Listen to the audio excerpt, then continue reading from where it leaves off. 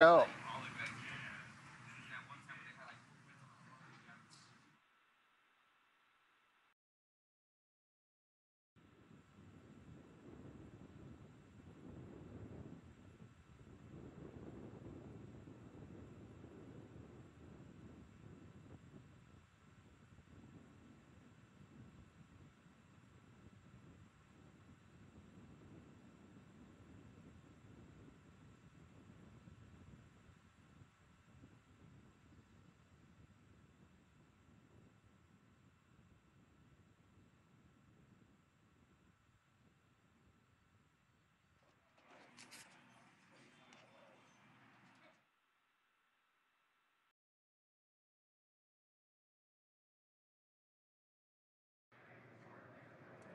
All right, well, you're looking at a live view of the Falcon 9 rocket and Dragon spacecraft that is in the final stages of preparation to launch the world's first all-private astronaut mission to the International Space Station in just over one hour from now. Today's launch marks the next step in evolution of the human spaceflight story. This is the first of a number of planned private astronaut missions, or PAMs, by Axiom Space to the International Space Station, and it represents the culmination of years of hard work between both government and private entities to open up the doors to low Earth orbit. My name is John Rackham, and I am the Crew Systems Deputy Manager at Axiom Space, based out of Houston, Texas. For awareness, we are cycling orbit tank isolation valves to equalize low flow pressure.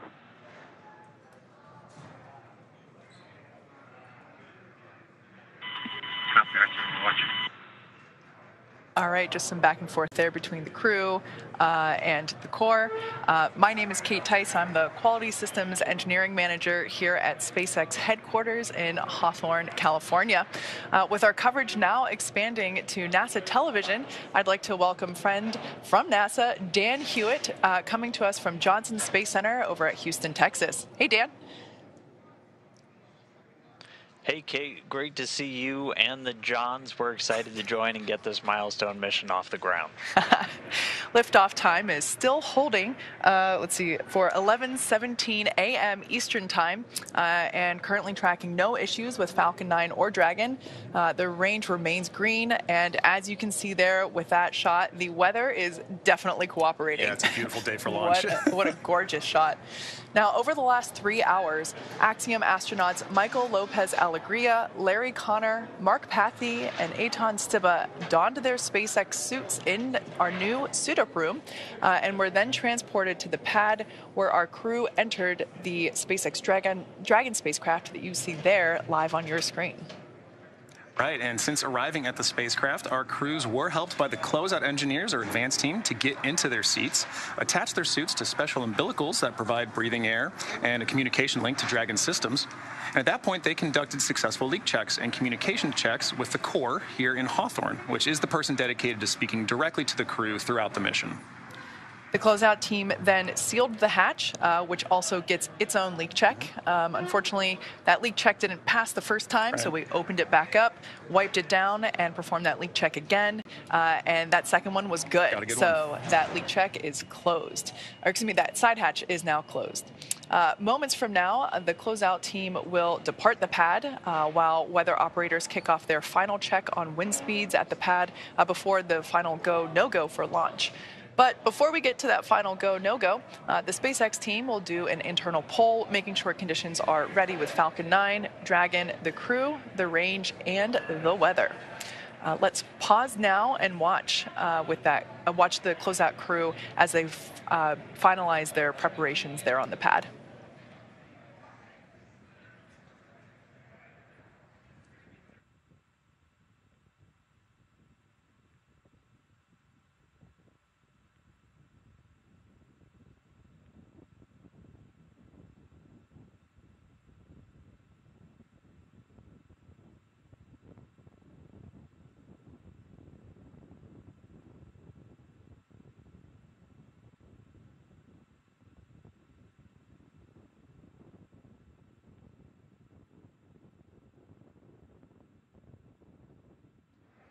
As you can see the crew there on the right-hand side of your screen continuing to wait. another 57 minutes until uh, we lift off from pad 39A, which you can see there on the left-hand side of your screen.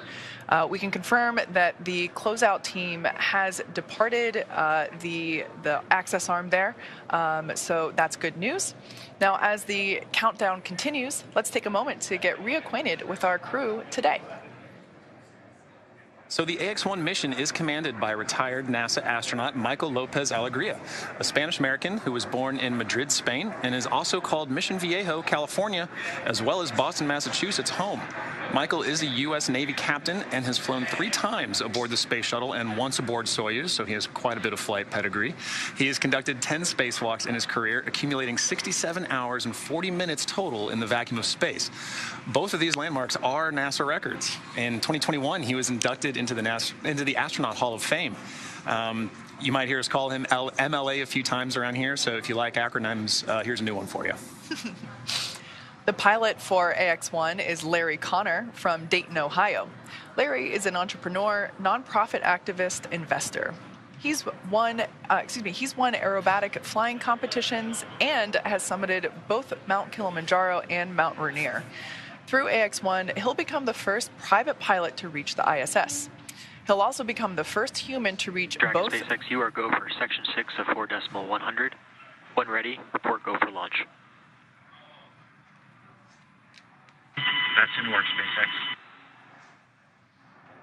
All right, so just some uh, back and forth with SpaceX core Arthur Beriault and the crew, um, continuing to work through our procedures. Um, ultimately, next check will be to make sure that the crew inside Dragon Endeavour are go for launch. Yeah. Uh, back to our pilot, Larry Connor. Um, as I said, he, uh, he, will also become the first human to reach both the deepest ocean depths and enter the bounds of outer space within one year. That's, that's just crazy to me. Larry has been actively involved with the Mayo Clinic and the Cleveland Clinic for many years, helping to understand the effects of aging. This mission will add a new dimension. Go for launch.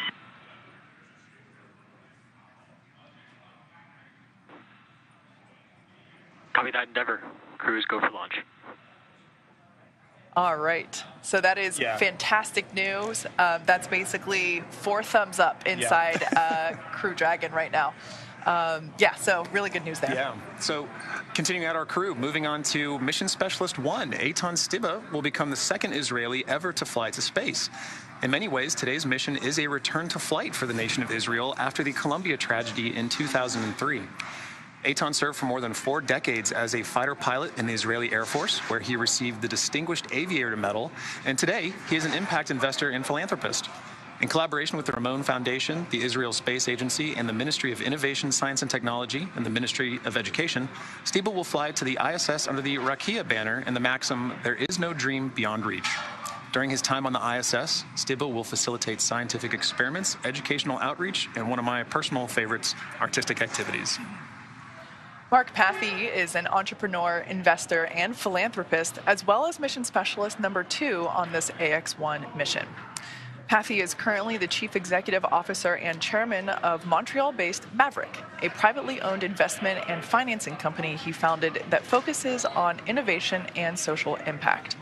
As a strong believer in the importance of philanthropy, Pathy is a member of the boards and executive committees of the Montreal Children's Hospital Foundation, Dans LaRue, and the Pathy Family Foundation. Through the AX1 mission, Pathy will become Canada's second private, private astronaut and the 12th Canadian to go to space.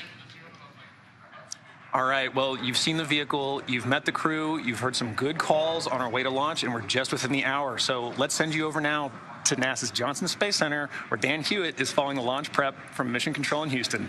Dan, over to you. Hey, thanks, John. And the team behind me flying the space station, the crew on board, they're ready to get this first private astronaut mission off the ground. Back in 2019, NASA took steps to open the station up for business, issuing a directive to enable new commercial activity on board, including private astronaut missions. And all of this is done with the goal of building a robust economy in low Earth orbit. Now, why does NASA want to do that? Well, we're very aware that there is untapped potential in that space just outside of our atmosphere, and low Earth orbit can be a first step towards unlocking limitless possibilities. on this July 20th, 1969. It's one small step for man, one giant leap for mankind. Greatness Boy. okay, we're gonna be busy. cannot always be seized in a moment. Sometimes it requires a first step, a step into the unknown. Not knowing the path, but understanding the goal. Believing that the first step leads to greatness. We've touched the sky, believing it will lead to new worlds. We've left our home, believing in a brighter future. We've come together, believing in shared goals. We've stayed and learned, believing in benefits for all. We take the first step time and time again because we've witnessed its benefits and believe in its potential. So we're expanding and enabling this step for others to push humanity further as we prepare for the next giant leap.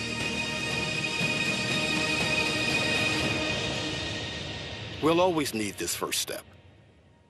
We're here to stay. And now is the time to join us.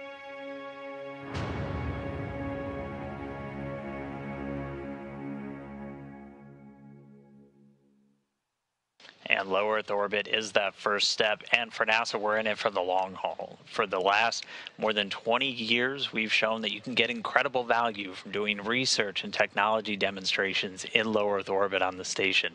And along the way, we've continually increased our work with commercial organizations, flying research, payloads, entire facilities, experiments. Uh, and working with U.S. companies to fly cargo and crew to the station, the latter of those laying the groundwork for the mission we're seeing about to launch today. Uh, and we're continuing to look ahead onto the horizon, working with companies like Axiom and others to get a jump start on developing new destinations in low Earth orbit where future astronauts, and not just those from NASA, will be able to go and explore and do research just outside of our atmosphere. So we've got our sights on the horizon, and our ultimate goal is for NASA to become one of many customers in this new economy in low Earth orbit as we set our sights on deep space exploration, uh, heading back to the moon and beyond under the Artemis program. Now, the AX-1 mission is a good example of the public and private partnerships that are going to make that future vision a reality. But to take a little bit deeper of a dive, let's jump over now to my colleague Megan Cruz, who's standing by at Kennedy Space Center with NASA Administrator Bill Nelson. Over to you, Megan. Good morning to you, Dan, and good morning, NASA Administrator Bill Nelson. Great to have you here as always. Good morning. well, I wanted to talk to you because we know that one of NASA's goals has been to enable commercial efforts in space. With today's Axiom 1 mission, the first all private crew to the International Space Station, what does today represent for the agency? We're taking commercial business off the face of the Earth and putting it up in space. And that's one of our main uh, programs now because we want to get NASA out of low Earth orbit and go explore the heavens. Uh, we want to direct our energy and our resources to do that because we're going back to the moon and we're going to Mars. And uh, so uh, we want, for example, we're going to continue the space station for another eight years. Yep. Uh, we want to have commercial space stations. NASA wants to become uh, the ability to lease uh, uh, space on a commercial space station instead of having the responsibility of the space station. Yeah, let's talk a little bit more about that because I know that we've seen success with commercial cargo missions, commercial crew missions. Are commercial stations next? Uh, indeed. Well, that's what we're doing today. We are bringing a commercial company to our ISS we are then going to have them attach a commercial module to the International Space Station. And then we're encouraging the building. We've got uh, uh, initiatives out there in private industry right now uh, to build a commercial space station. And then all of our international partners on the space station, we're taking with us out into, for example, lunar orbit. The Gateway, which is like a space station in lunar orbit, is uh, going to be a number of nations. Uh, landing on the moon, we're going to have other uh, nations participate as well. Yeah, it seems like there's a lot of partnerships going forward with NASA to accomplish some of the big goals that we have. Well, as it should be, because our program is internationally, and when we go to Mars, uh, there's going to be a delegation from planet Earth. Mm-hmm. Are you excited for today's launch? Oh, is the Pope Catholic? yes. well, thank you so much, Administrator. I really appreciate you being here, and I hope you enjoyed today's launch. Thanks a lot. All right, back to you guys at Hawthorne. We're at T minus 46 minutes, 10 seconds. We've just heard from the SpaceX launch director. Conditions. Brief the CE or LD, and they will approve aborting the countdown. For urgent issues affecting the safety of the operation, operators shall call hold, hold, hold on the countdown net. Launch control will abort the launch auto sequence and immediately proceed into launch abort. At T minus 10 seconds, launch control will be hands off and relying on automated abort criteria for the remainder of the count. Operators advise the launch director whether structural breakup or fire is imminent occurring per Dragon manual escape flight rules. For those operators in firing up 4, in the event of a fire alarm, key operators noted in 57.83 will remain at their post while the alarm is evaluated. In the event that personnel safety is threatened, evacuate to the south-facing emergency exit, which leads directly outside. Firing group 4 and MCCX will go into a sterile cockpit and lock down for the duration of the time the launch escape system is armed. Launch shuttle at this time, you may proceed with arming the crew arm for movement. Over that, arming crew arm for, crew arm for movement. T minus 45 minutes and counting. You've just heard the SpaceX launch director give the final execution instructions to the launch Crew team. access arm retraction started. We're ready for propellant load. That'll begin in about 10 minutes. Before that, we've got crew access arm to retract happening now, and then arming of the launch escape system. Everything continues to look good for an on-time launch of Falcon 9 with Axiom 1 mission.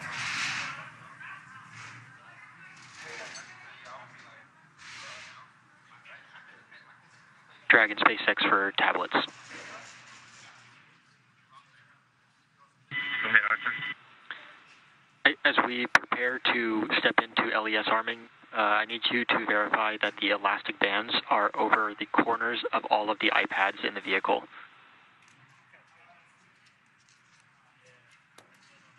Roger, stand by.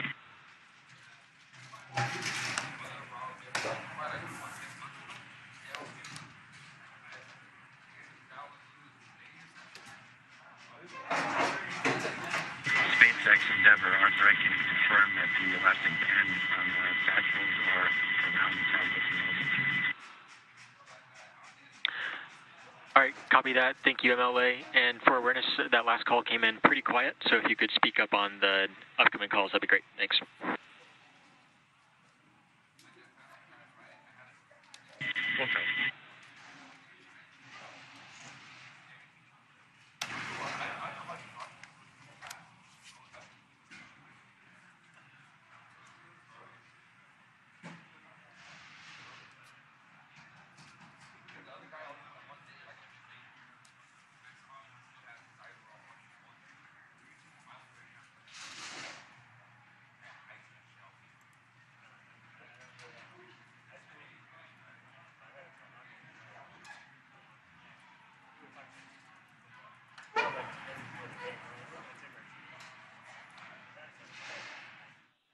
Okay, we'll give you an update here. Inside of 43 minutes, crew access arm has retracted from the Dragon spacecraft.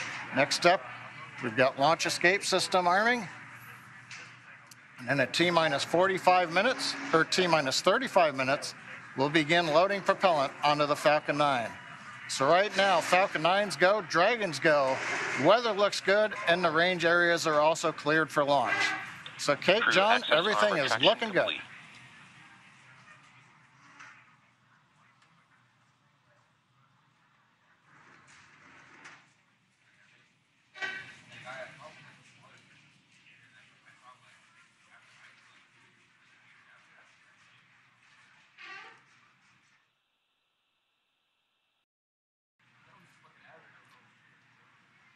Inside of 42 minutes, everything continues to go well. Waiting now for launch escape system arming.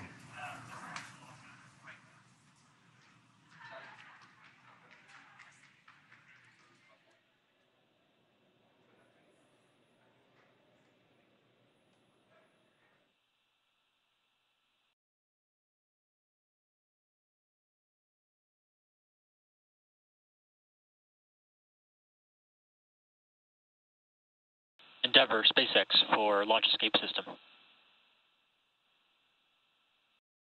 Go ahead, Arthur.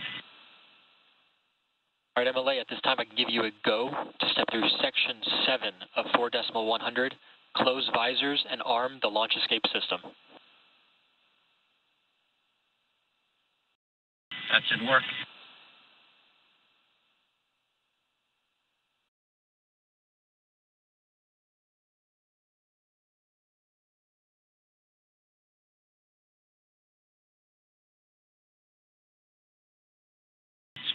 SpaceX Endeavour visors are closed. We are arming the launch escape system.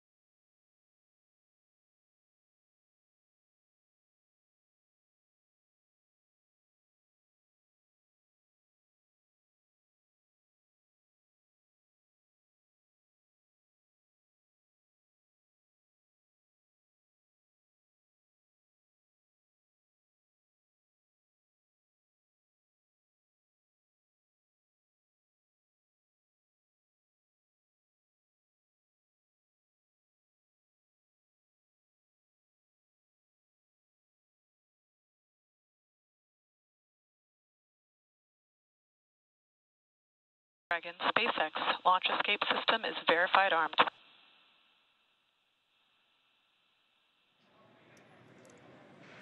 Copy, SpaceX. All right, there you heard it. The launch escape system is now armed. You can see there the crew in their seats with the visors down.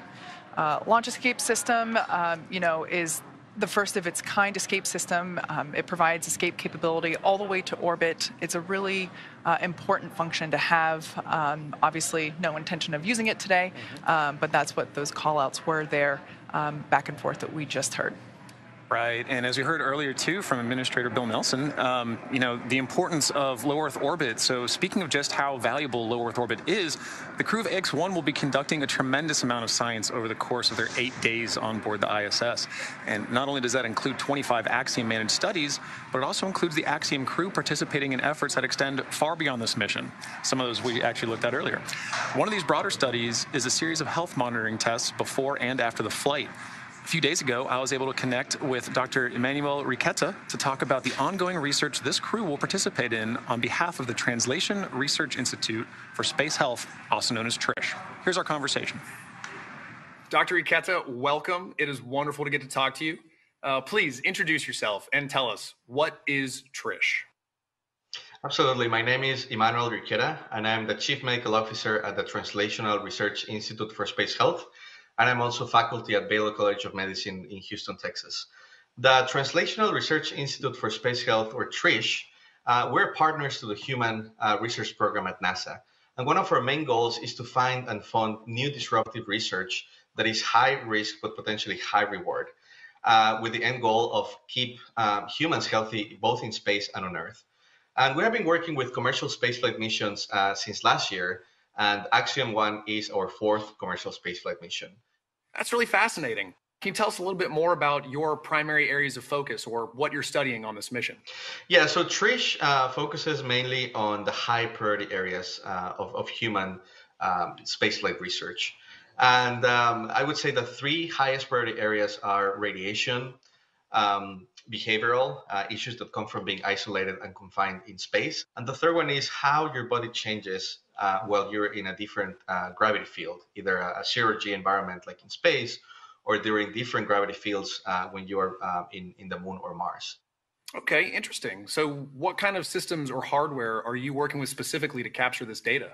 For this mission, the hardware that we're using is uh, absolutely optimized uh, to provide number one the, the highest quality data, while uh, you know being still easy to use, easy to implement, uh, and being the lowest burden to, to the um, uh, to the astronauts. So to collect all of this data, for example, uh, vision changes, we have been using a, a small device is uh, roughly the size of a shoebox that you can see here. I have this here with me. So this is basically like having uh, an optometrist uh, on a box. Basically, the only thing that you have to do is just just grab it, uh, put it on your eyes, uh, look at an object that is roughly six feet away from you, and after a few seconds, you get a prescription of, of your glasses as right here. So as I was saying, um, if, if there's any changes on, on astronauts during these missions, we'll be able to see how that changes with this device.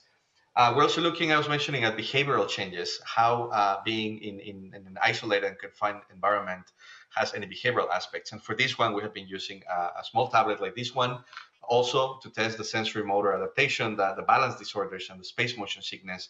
Uh, we're using a device like this. And for each of the of the crew members, we have a set of hardware like this, and um, uh, it fits. Uh, the four sets of hardware fits on a on a medium size um, suitcase. So it is it is really easy to move uh, wherever it needs to go uh, for for launch and uh, and landing. That's wonderful. So, what are some of the intended outcomes or goals of the research you're doing? Yeah, so some of the outcomes, uh, and one of the main applications, um, number one for spaceflight that, that, that, we want to get from, from this research is that short duration missions like uh, Axiom 1 are very, very relevant in the context of Artemis missions. When we go back to the moon, the first missions are going to be roughly the same duration as, as Axiom 1. So anything new that we learn from these missions is going to be absolutely valuable. Really, every new piece of data that we collect in spaceflight could potentially solve and be that, that uh, last piece of the puzzle that we're looking to, to complete uh, what we need to know. Well, Dr. Urquieta, thank you so much for speaking with us today. We wish you the best of luck. It is my pleasure. Thank you. All right, we are about 30 minutes out from launch of the historic AX-1 mission. It has taken an enormous effort from an incredibly dedicated and hardworking team to get to this moment. And that team wanted to take an opportunity to wish the crew of AX-1 well and Godspeed. Hey X1, we're so happy for you guys and just want to let you know we've got you here on the ground in mission control, so fly high and have some fun. From all of us here at the Integrated Performance Team, we want to wish you luck on your pioneering mission to the ISS and hope to see you in a couple years when AX-H1 launches. It is not only an immense honor to get to watch your monumental mission, but also to have been able to support you on your journey towards this day as well. Hey guys, can't wait for this mission. We put a lot of hard work in. We're excited for you all to uh, have a great time up there and good luck. Thank you for helping set an important precedence ahead of a very bright future. Good luck, AX1 crew. Let's conquer space. Hasta pronto. We want to send you all off with good wishes in this incredible journey. Godspeed. It has been such an honor to watch and support you guys as you prepare for this moment. I'm so proud of each one of you for the dedication, the long hours, and the hard work you put into making this a meaningful mission. Hello, Axiom astronauts. Thanks for stepping up to the plate for this amazing journey. You guys have trained hard, you've waited a long time, and this is now happening. Safe travels on this historic mission for the first private astronauts to go to the ISS. It's happening. Wave to us from up above because we'll be thinking of you from down below. We're the Axiom Safety Team. We just want you to know that we are really proud of you and we've got your back. We're wishing you a safe and successful mission, and we'll see you when you get back on the ground. Hi guys, we're the Axiom Soft Goods team and we just want to wish you a good mission and get back safely. It's a real pleasure to be talking with you guys right now and we're super excited for you. I'm here to cheer you on along with the entire Crew Systems team. Yay.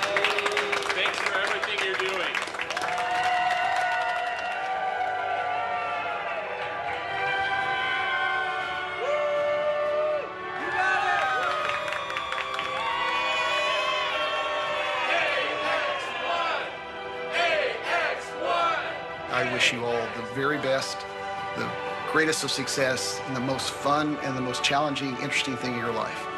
Go big and enjoy your time on the ISS. We'll see you back on the ground. Hey guys, I am so proud of the Axiom One crew. It's so fun to be a part of something bigger than you and to contribute. Most important thing to remember, guys, take some time to look out the window and appreciate where you are. It's space.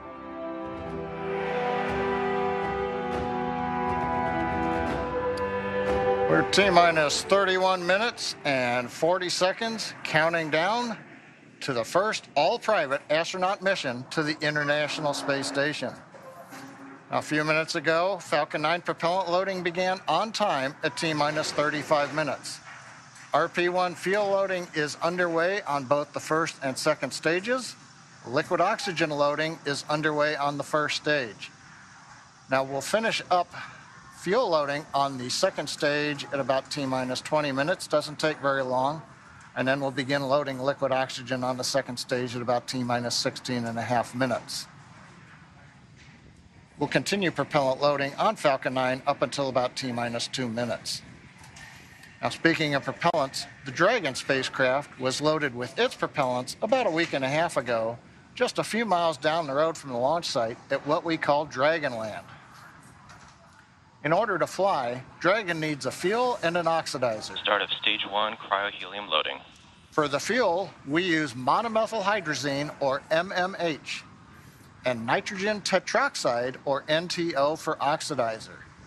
Now together, these propellants feed the Draco engines that will maneuver Dragon on orbit, changing its attitude, uh, raising its orbit to get to the space station. But that propellant also serves a second purpose, and that would be to use in the eight Super Draco engines that would power the launch escape system in an escape scenario. But right now on pad 39A, nice view of Falcon 9 with Dragon there. You can see the crew access arm has retracted away from the Dragon spacecraft. The four-person crew is inside Dragon right now. The launch escape system is armed.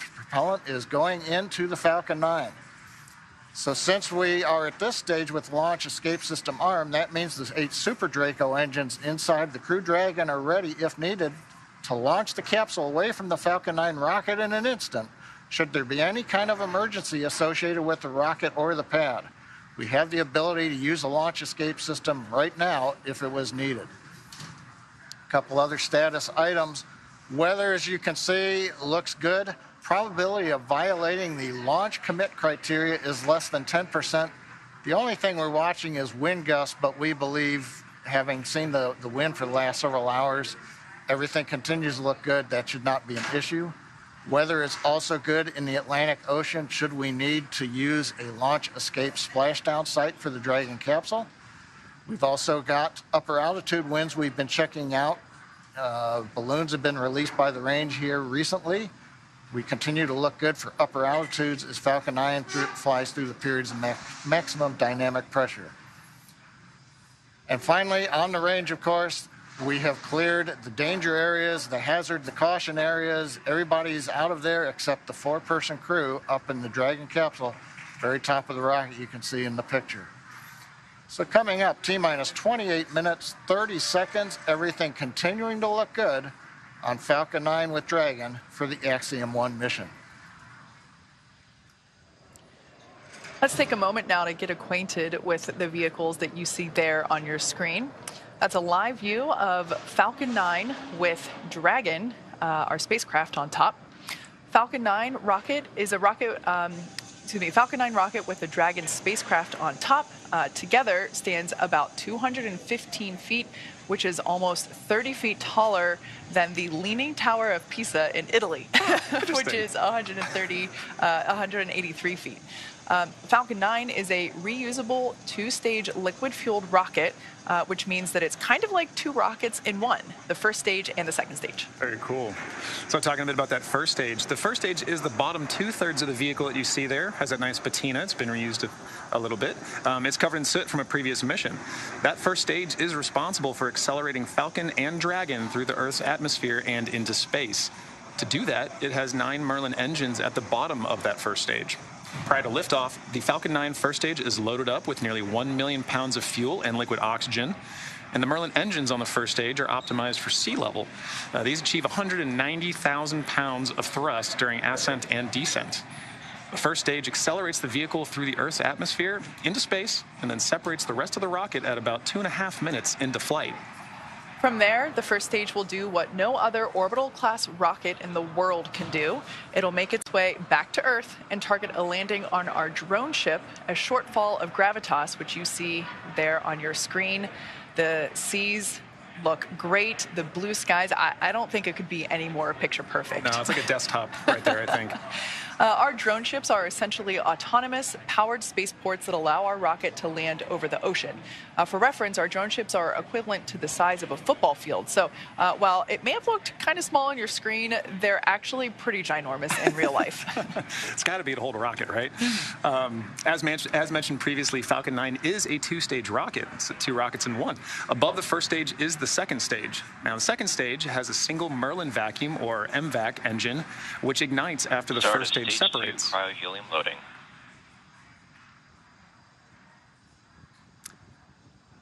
Now, the second stage is essentially a smaller version of the first stage, and whereas the first stage is designed to power the vehicle out of Earth's atmosphere and the forces of gravity, the second stage is specifically designed to operate in the vacuum of space. The second stage powers the Dragon spacecraft to its specific, specific targeted drop-off point in orbit. The Dragon spacecraft is capable of carrying up to seven passengers to and from Earth orbit and beyond. Uh, but for today's mission, it is carrying four members of the Axiom 1 crew. It is the first private spacecraft to take humans to the space station and the only spacecraft currently flying that is capable of returning significant amounts of cargo to Earth. Like the Falcon 9 rocket, uh, the Dragon spacecraft is also reusable. Today will be the third flight to space uh, for this Dragon spacecraft uh, that the Axiom 1 crew is flying in today. Uh, the previous flights for this th- this capsule supported were uh, recently the Crew 2 mission, and before that the Demo 2 mission, uh, which was our first human spaceflight mission. Pretty incredible. Yeah. Now, as we await T0 in just under 25 minutes, the ground operations teams are doing a series of system checks to make sure both Dragon and Falcon 9 are ready for launch. Let's take a look at what the ascent portion of this mission will look like. Right, so once we hit T minus zero, we will watch Falcon 9 and Dragon lift off from historic launch pad 39A and make their ascent. At about 50 seconds into flight, Falcon 9's engines will throttle down to help pass through the period of maximum dynamic pressure on the rocket, or what we typically refer to as max Q. It's worth noting that once we hit max Q, the vehicle will be going supersonic. Once we're through the period of maximum dynamic pressure, we can throttle up our Merlin engines again. From there, at about two and a half minutes into flight, we have a series of three events that happen in rapid succession. The first of which is MECO, or main engine cutoff. This is where all nine Merlin engines shut off in preparation for stage separation, which, as the name suggests, that is where the first stage detaches from the second stage, with the first stage making its way back to Earth for landing as the second stage continues on its journey with the third event. Right, now SES 1, or Second Engine Start 1, is where the Merlin vacuum engine lights up and propels the second stage, along with our AX 1 crew, into orbit. As Stage 2 heads towards its targeted drop off orbit, Stage 1 will execute two burns in order to make its way back to Earth. The first stage is the entry burn, where three of the Merlin 1D engines will reignite and then shut down. This helps to slow the stage down in preparation for entry back into Earth's atmosphere. While the first stage is heading back to Earth, the second stage will cut off its singular Merlin engine uh, that was ignited right after stage separation. Once this happens, we'll wait for confirmation of good orbital insertion. About 90 seconds after Dragon gets into orbit, Falcon 9 will land back on Earth. The landing burn, which is a single engine burn, will bring the vehicle's speed down rapidly in order to land on the drone ship uh, at about nine and a half minutes into the mission. And while Falcon 9's first stage is landing, Dragon is preparing to separate from the second stage. At about three minutes after the second stage gets into orbit, we should have a great view of Dragon with its four person crew drifting away from the second stage. And once Dragon is a short distance away, it will begin checking out its Draco maneuvering thrusters to make sure Dragon continues to increase separation distance from the second stage. And lastly, the nose cone deploy sequence will initiate just before T plus 12 minutes and finish around T plus 15 minutes. Uh, and this sequence will expose Dragon's docking mechanism in advance of its arrival at the International Space Station. So, uh, as you can tell, it's it's a pretty jam-packed 12 minutes. Yeah. Pay attention. Pay close attention to what you're listening to. Don't blink. Uh, with all of that in mind, uh, let's head back over to Dan Huot for an update uh, from the ISS team over at Johnson Space Center. Dan? Hey, thanks, Kate. Now, inside the room, the International Space Station Flight Control Room, Flight Director Scott Stover is leading the teams right now. But just about four hours ago, NASA Flight Director Diane Dailey gave a go on behalf of the combined ISS team to the SpaceX uh, mission director, just saying that ISS or the space station was go for launch. Now, to get there, we've got a list of flight rules, basically just guidelines for all of the major systems we have to make sure are functioning on board station before we can give a go to launch another crew up there. So we're looking at everything from those core critical command and control computers, verifying we have a good communication path through our tracking and data relay satellites, uh, ensuring that the atmosphere, all of the life support systems on board are functioning, even the mechanical systems like the docking port where this mission is headed. So we're expecting today's flight to be about a 20 and a half hour journey from launch to docking uh, with the Crew Dragon Endeavour headed towards the Node 2 Zenith. That's the space facing port on the top uh, of Node 2, the Harmony module on board the station.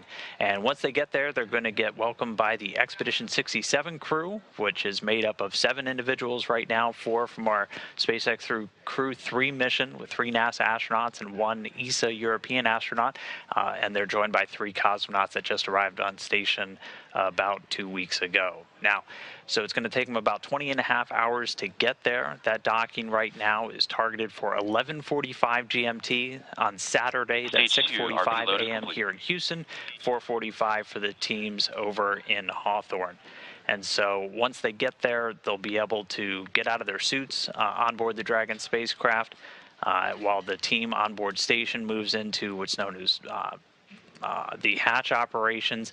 Uh, Station Commander Tom Marshburn is going to be pressurizing that small area between Dragon uh, and the station hatches. And we expect it to be a little under two hours from docking to hatch open, and then we'll welcome the AX-1 crew on board the space station. So a lot to come with that 20 and a half hour journey, but all that's going to start with a launch. So I'll send it back over to Hawthorne as we get into the final phases of the countdown. Back over to you, John.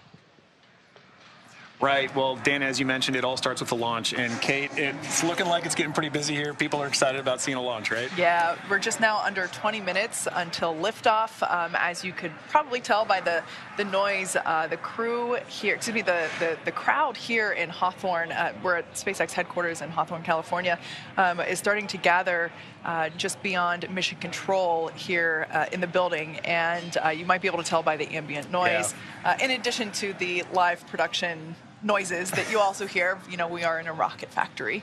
Um, but yeah, you can see there the crowd is starting to grow behind the mission, the team there at Hawthorne Mission Control.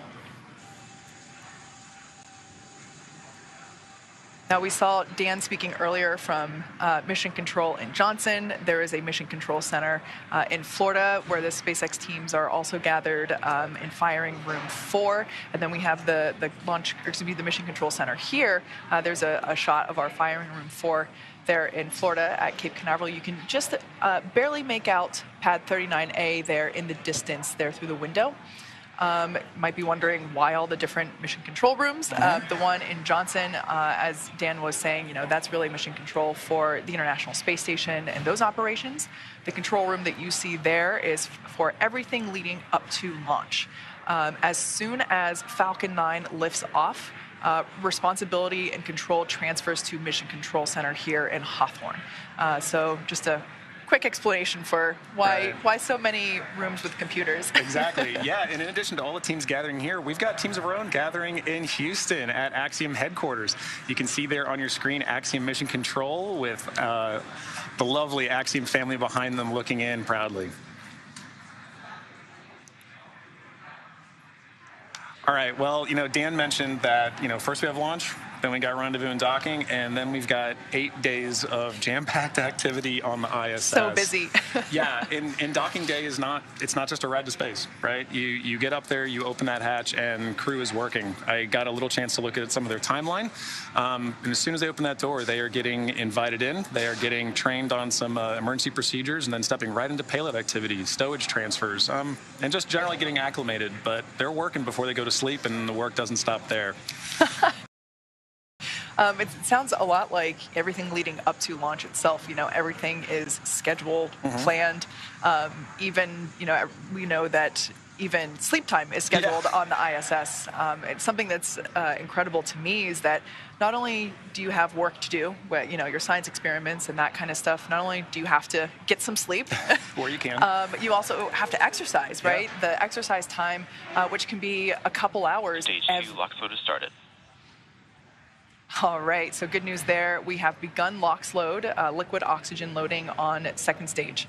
Uh, so that is currently underway for first and second stage, as well as loading of RP1, uh, which is our fuel on both first and second stages. Right.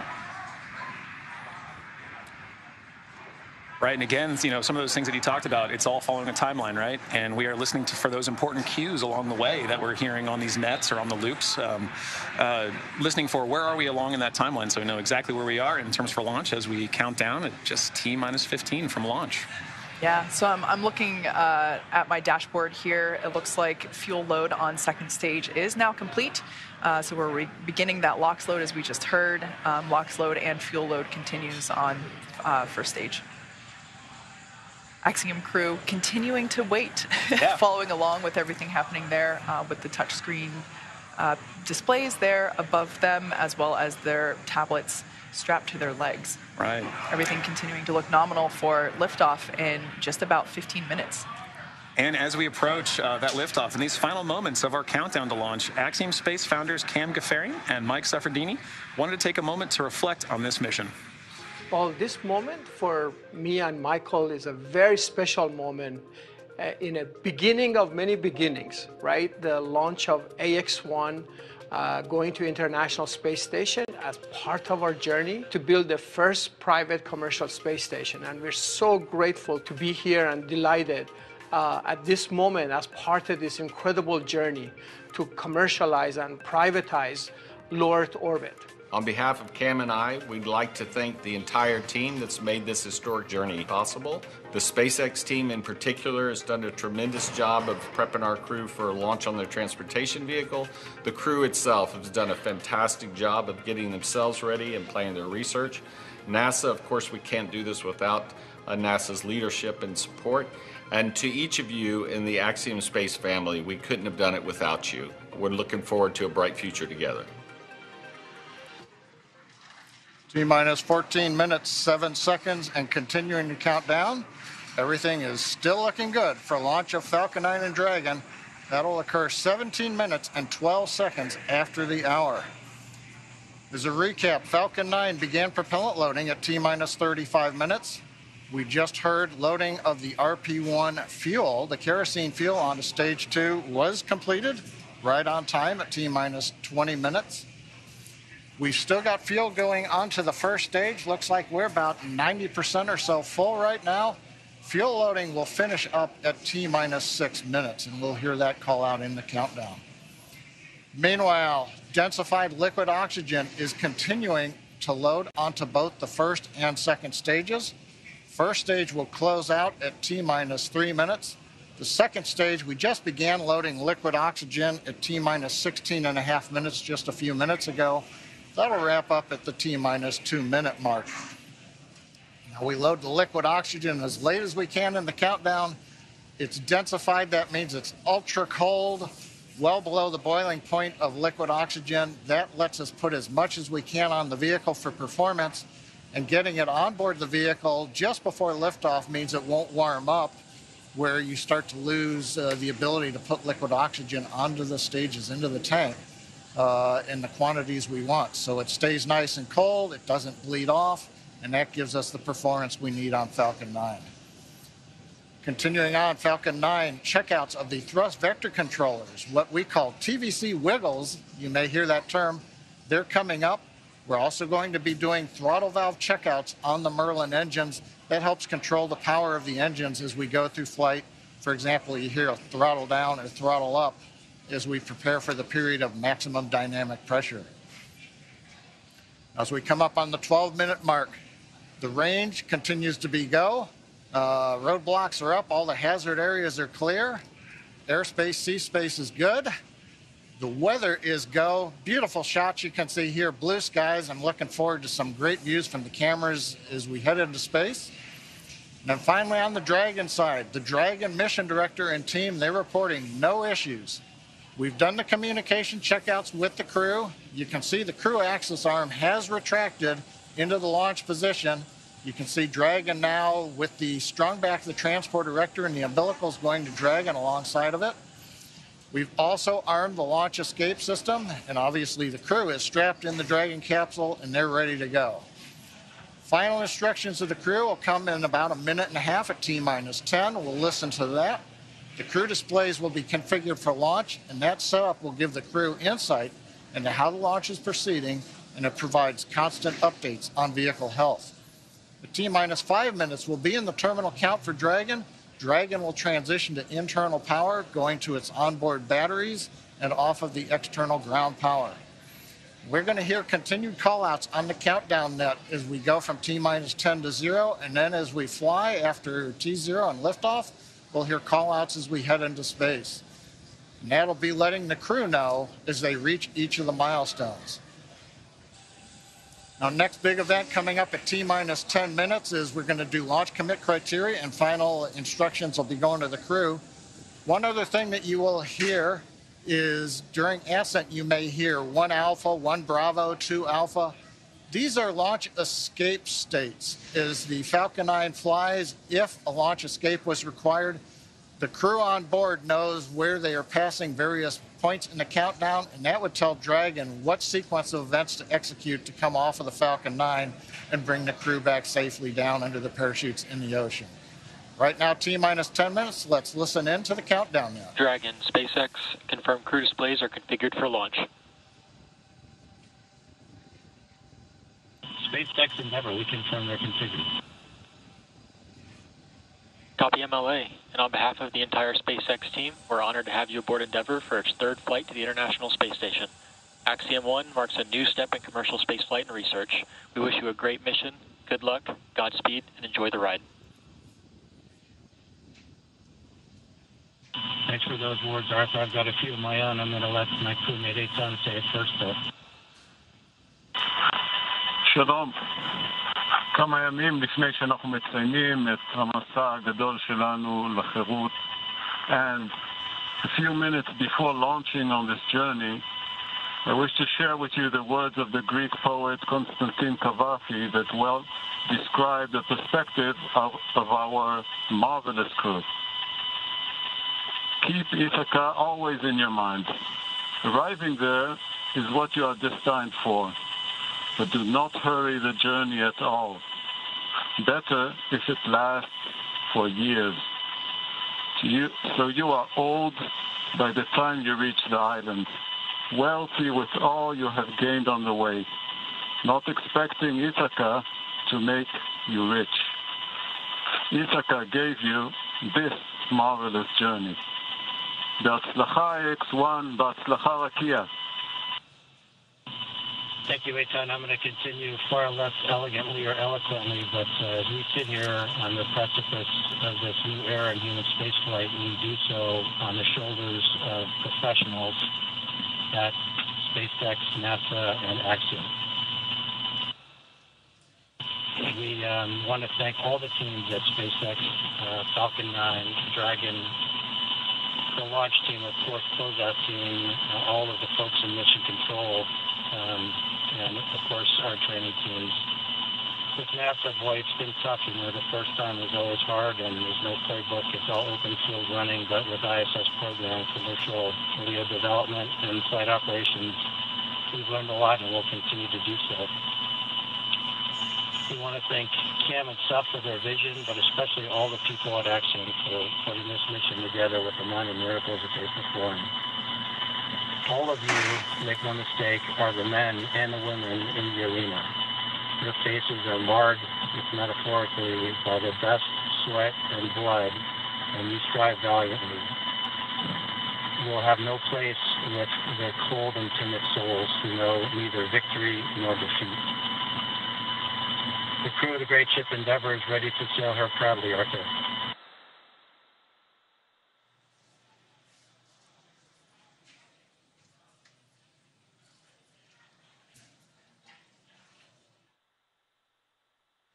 Some heartfelt words there. Stage one engine chill has started.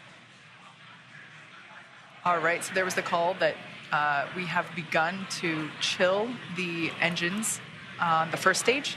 So what we're doing right now is flowing a little bit of the super chilled liquid oxygen uh, through the turbo pumps on those M1D engines. There's nine of them at the base of the first stage. Uh, and that's essentially bringing them down to the temperature of that super chilled liquid oxygen to uh, prevent any thermal shock to the hardware. Uh, and just before that call, some really heartfelt words from Yeah. Commander MLA uh, and Mission Specialist Eytan Stibbe. Um, really love hearing that commentary. Stage one RP load is complete.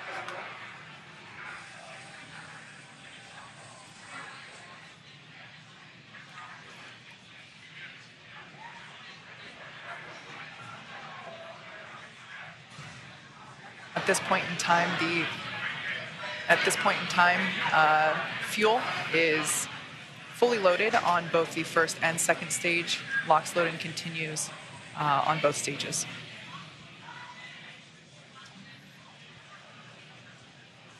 Coming up on five and a half minutes. Kate's let us know that we've got the fuel load complete. Next is coming up. We're T minus five minutes. Dragon will be transitioning uh, configuration for terminal count and going on its internal battery power. Everything continues to look good as we're counting down.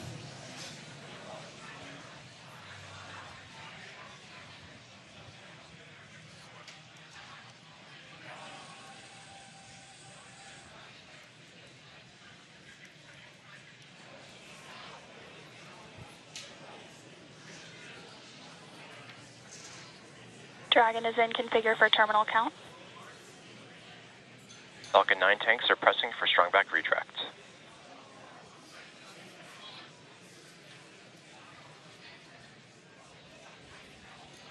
You've heard the call out. We're pressurizing the tanks for strong back retract. We'll hear a sequence momentarily. Strong back is retracting. Actually, that's the start of about a one minute sequence. In about T minus four minutes, the clamp arms that you can see there will open, and then the, Back is retracting. and then we will see the retract from there. So we've heard the call out. That's the start of the sequence. Doesn't mean that the clamp arms uh, are late opening. It will take us a few more seconds. As you can hear, the excitement and the crowd is really growing uh, here at SpaceX headquarters at Hawthorne, California. There you can see the clamp arms have begun to open. And next we should see the strong back uh, begin to retract.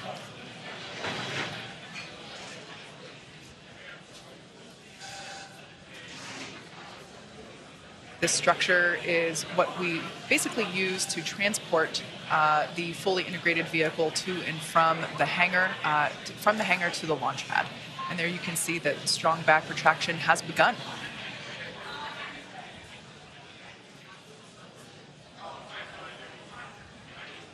Everything continue to look nominal uh, as we're now under three and a half minutes until launch.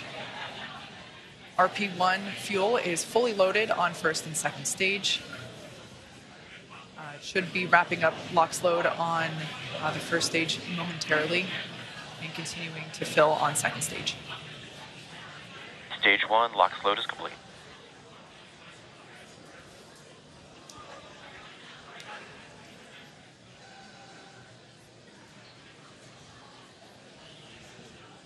We're under three minutes until liftoff of the Axiom 1 mission. Dragon is in terminal count and is on internal power.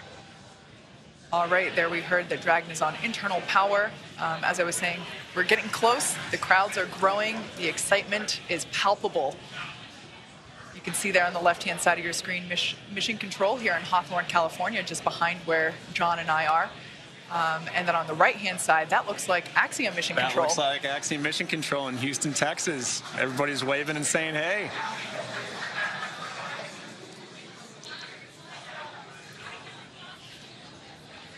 All right, at this point in time, that LOX load on first stage is complete. So the first stage is now fully loaded with all of its propellant. LOX load on second stage continues.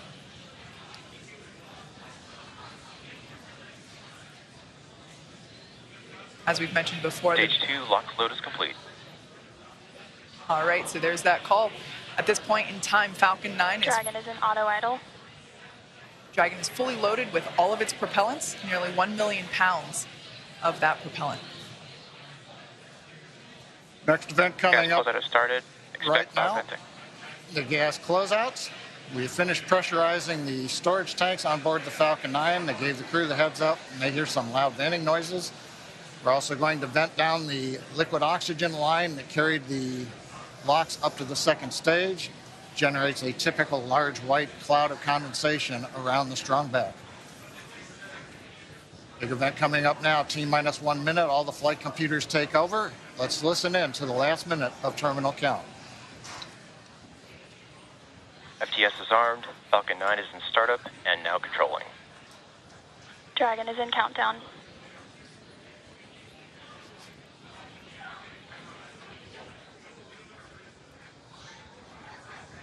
Dragon, SpaceX, go for launch. SpaceX Endeavour, we acknowledge, go for launch.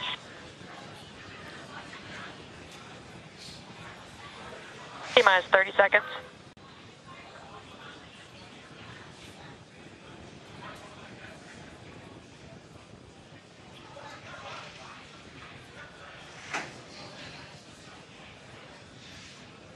T minus 15 seconds.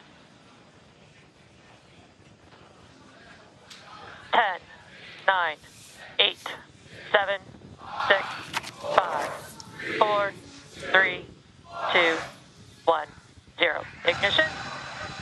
Stop. Go Falcon, go Dragon. Godspeed, Axiom 1.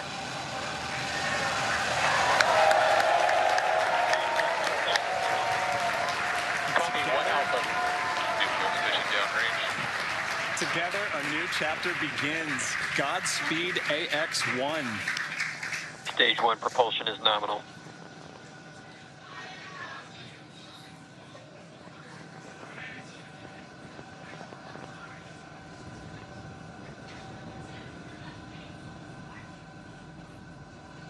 T plus 38 seconds into this historic mission, flying crew on board Dragon and Falcon 9. All right, telemetry nominal.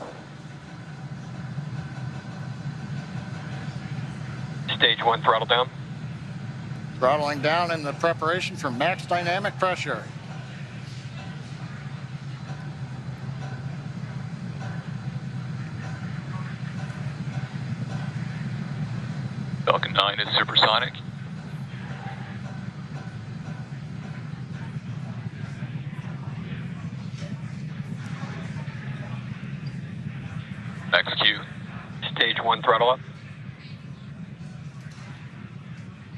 LN1D engines coming back up to power. One Bravo.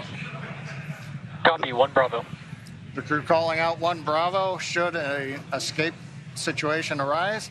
It tells the Dragon flight computer what profile to fly using the Super Draco engines.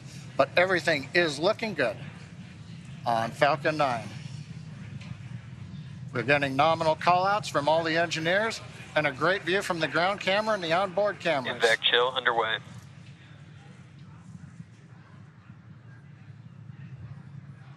Beginning to chill in the second stage turbo pump in preparation for its ignition coming up in just over half a minute from now.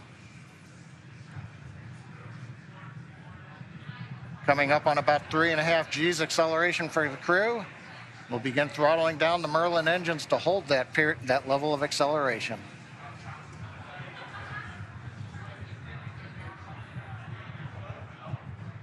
Next event coming up, we're going to get main engine cutoff Stage of the main engines.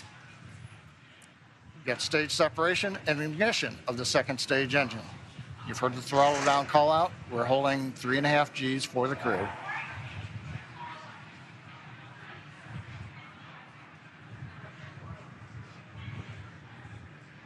And MECO.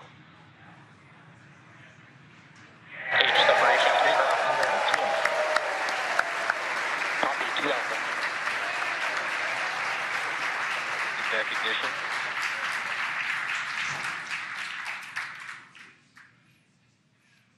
Successful stage separation ignition of the second stage engine. On the left, the titanium grid fins beginning to slowly deploy. Great views from the first stage camera. The first stage now begins a slow flip maneuver. You can see the white uh, nitrogen gas plumes as we reorient for an entry back through the Earth's atmosphere a little bit later in the plus count. Second stage, we see the engine nozzle glowing red. Everything continuing to look good on the second stage.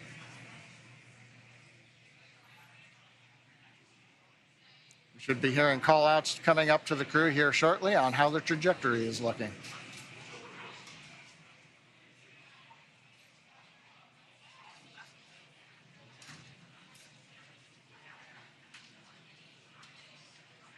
Dragon SpaceX, trajectory nominal.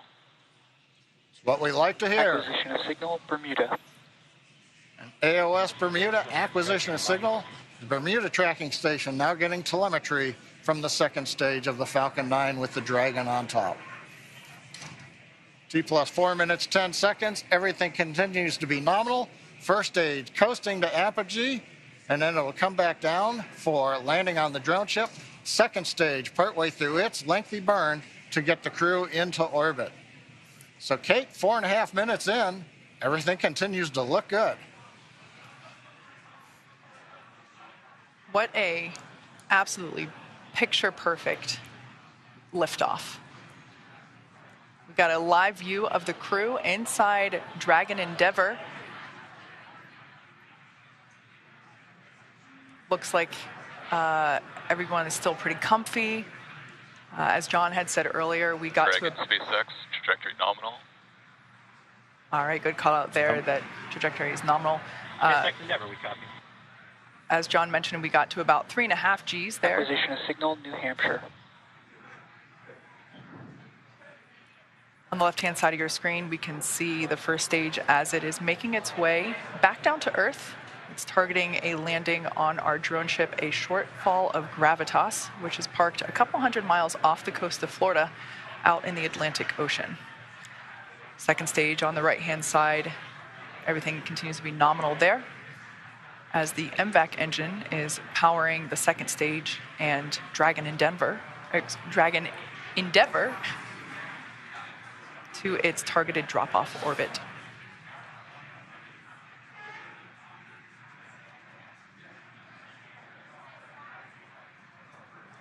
Absolutely beautiful views of both the first and second Dragon stages. SpaceX, trajectory nominal. SpaceX Endeavour, we copy. All right, so coming up in about a minute and a half, uh, the first stage will execute the first of two burns required for today's landing attempt. Um, at about T plus 7 minutes and 30 seconds, we'll see the entry burn begin. That's where the first stage will ignite um, the center engine first, and then a couple seconds later, ignite two more engines, so a total of three engine burn, um, which will last about 29 seconds. The entry burn slows the vehicle down significantly as it re enters back into the Earth's atmosphere. The first stage sees high drag, which scrubs roughly 70% of that velocity by the time that the landing burn begins. Stunning view where you can see the curvature of the Earth there on the left hand side. Dragon SpaceX, trajectory nominal. SpaceX Endeavour, we copy. There you can see the nitrogen gas thrusters. That's the puff of um, gas that you see there occasionally. That's used for uh, attitude control systems. We also utilize those grid fins that you see. There are four of them uh, placed around the booster.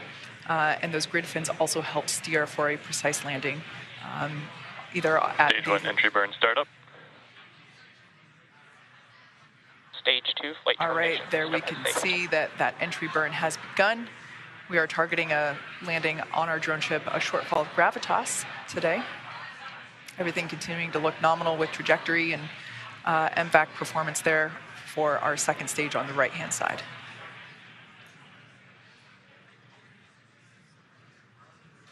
So we are conducting the entry burn.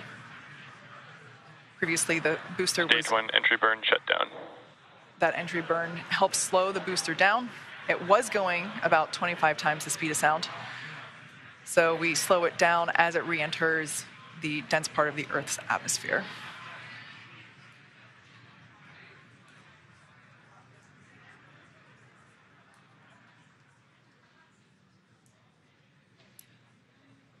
The next event is second engine cutoff, or SECO 1, as you see it there on the timeline at the bottom of your screen. Stage two and terminal guidance. That's where we shut down the MVAC engine, or second engine cutoff. Copy, Shannon. Stage one transonic.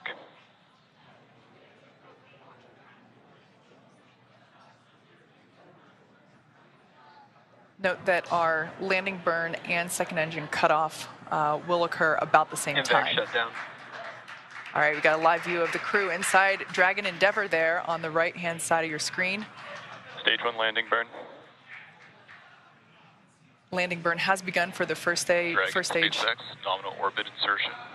All right, great news there. Dragon Endeavour, nominal orbit insertion. SpaceX Endeavour, we copy, and it's great to be here.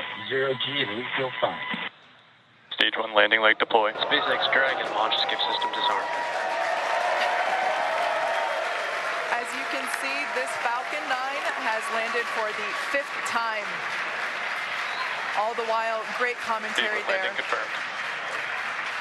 While we can confirm the landing, Signal Newfoundland and loss of signal is expected. Confirmed landing there of the first stage booster. Also, almost simultaneously, great news uh, for the second stage. We heard that there was nominal orbit insertion uh, for Crew Dragon Endeavour. There you can see a live view inside our Dragon. Looks like the crew is beginning to adjust to zero G. And if you look at the right-hand side corner, it looks like we can see the zero G indicator. You know, that was one of my. That, that was one of the things I really wanted to see what they were going to bring for their zero G indicator. So I can't wait to see what comes on.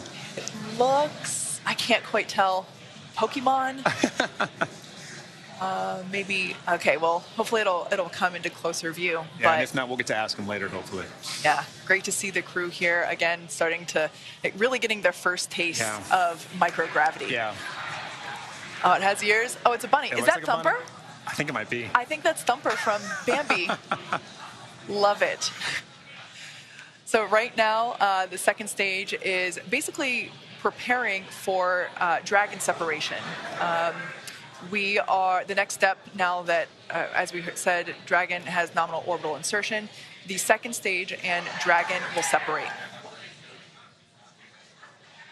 Views there of our uh, MVAC engine now shut off, no longer glowing that lovely shade of orange.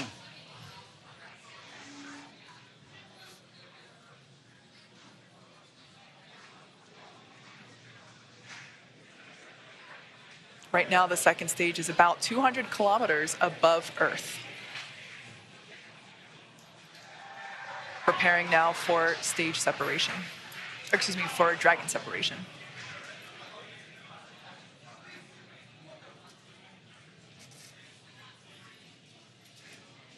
For those of you that have just recently joined us, we had an on time liftoff of the Axiom 1 crew. They are now in space and uh, coming up to separation from second stage, at which point um, they will then begin to make their journey, continue their journey uh, to the International Space Station.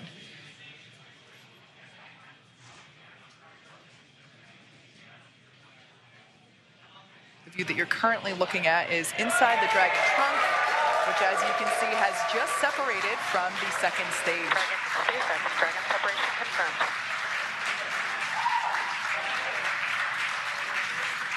On behalf of the Falcon 9 team, Thanks, welcome It's to good to space. Thanks for flying Falcon 9.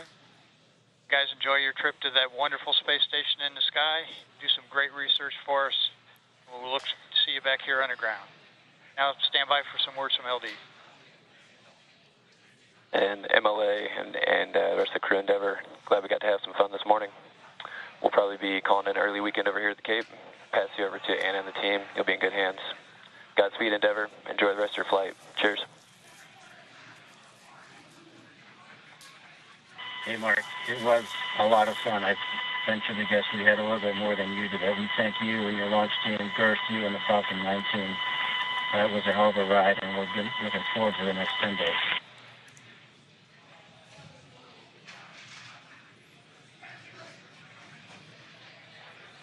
All right, some nice words there from a couple of key folks.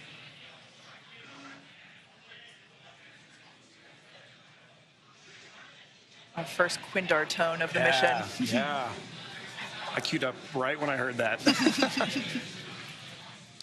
there we and can expected, expected loss of signal, Bermuda and New Hampshire. there we can see uh, Dragon Endeavour on its way to the International Space Station. It has separated.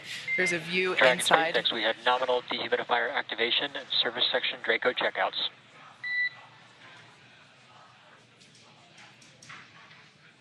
There we can see over the shoulder of SpaceX Endeavour, we copy, Roger. over the shoulder. Previously, Commander uh, MLA was on the left, and pilot uh, Larry Connor was on the right. Live view inside the cabin. They just got the okay to lift their visors. All right.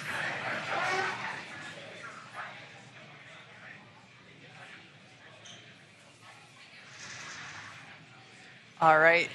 So we can see that everyone is in space. Yeah. We can see that zero G indicator floating around. Great view there um, of Dragon Endeavour. Now in space with the Axiom 1 crew Yeah. on their way to the International Space Station. Yeah, I mean, this is a day of firsts. You know, this is my first time getting to participate in a launch like this. This is the first for Axiom. I mean, this is a first for spaceflight. And it's just wonderful to see such a picture, picture perfect launch. It really We was. saw, we saw the landing and we saw uh, orbital or uh, uh, zero G insertion at the same time. I mean, that was perfect. Yeah. It was wonderful to see. All right, well, as I just said, today's launch is one for the history books. So to punctuate this milestone that NASA and commercial companies are able to achieve together, we go now to Kennedy Space Center where Megan Cruz is with NASA's Kathy Lueders. I am. I'm here right now with the Associate Administrator of NASA's Space Operations Mission Director. It's so great to have you here, Kathy. Mhm. What did you think of the launch? Oh my gosh, it's, it's always like, you know, right in the bottom of my throat. I'm Yes. holding, can't breathe, can't breathe. Yes. But what a beautiful, beautiful sight. Yeah. So good to see it. I, I want to tell everybody working Artemis 1 wet dress, we're off the range. We're off the range for Axiom 1 and we can get moving. But um, you always want to hear the engine cut off. You always Yes. want to hear that second stage engines lighting. You always want to hear, you know, each of these stages, and we need to just keep carefully working through the different steps to get the, that crew there to the International Space Station safely. Yeah. What does Axiom 1 represent? Axiom 1 and also future private astronaut missions to the International Space Station. Hey, you know, NASA's original goal was to enable commercial industry. That was actually in our original Space Act agreement. And so here we are, you know, 60 years later, enabling that through our missions. And so I just feel like this is a culmination of 60 years of work for us. And here we are once again getting to see, and for the first time, the first time getting to have commercial you know, private astronauts going to the International Space Station, and they'll get to see what our government, the what they're calling professional astronauts, Yeah. doing their real work, And but then also getting to do their work too. And it's uh, it's another place where learning to peacefully work in space, I think, is moving us forward. Yeah, so important. And you know, we just watched Axiom 1 lift off from that launch pad right there behind us. In a couple of weeks, we're going to see Crew 4 launch from that same launch pad. And then Yeah. just right next to it, Pad 39B, we have NASA's brand new space launch system. Can you recall a busier time we've had here at the Space Coast? and how is Kennedy Space Center managing its new role as this multi-user spaceport?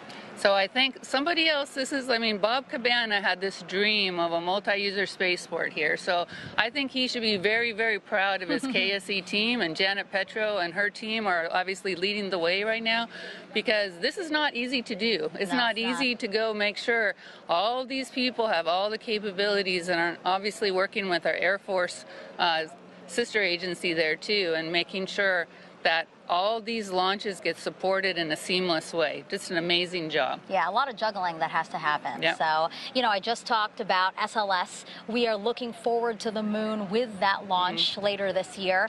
You know, why is it still so important to maintain a presence in low Earth orbit when we're looking towards the moon now?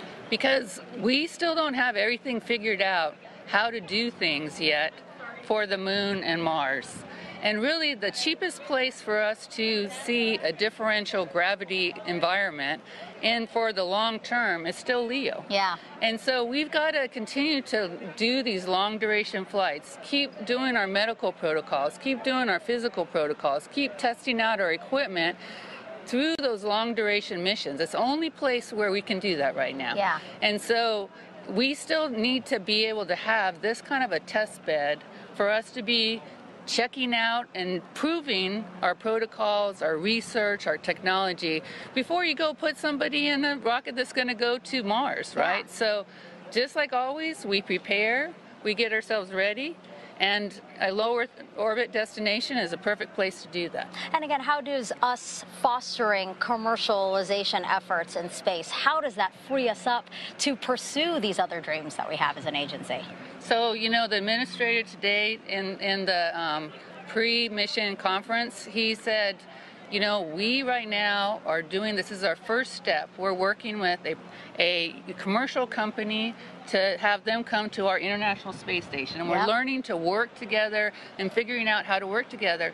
And this is going to be an important step for us because moving forward, we would actually like to now be able to buy a ride and time on orbit Yeah. with a commercial company to be able to have them do that. And so this is the first step of their learning from us and us learning from them. And then in the future, you know, we're going to have space station for another eight years, but we would like by the early 2030s for us to be flipping the roles Yeah. and have our professional astronauts going up and, and checking and doing and focusing on the research and technology we need for exploration but allowing commercial providers to be doing the hard work of maintaining the laboratory. Kathy, what an exciting future. I'm looking forward to seeing it, and thank you again for being here. Thank you. All right, back to you, Dan. All right. Hey, thanks, Megan. It is great to see the AX-1 mission on orbit. The team here uh, with the space station are ready. We're ready to get them on board. So their journey just started. They've got about 20 and a half hours until they're docked to the space station. Again, they're headed for the Zenith port on Node 2. That's the space-facing one on the very top.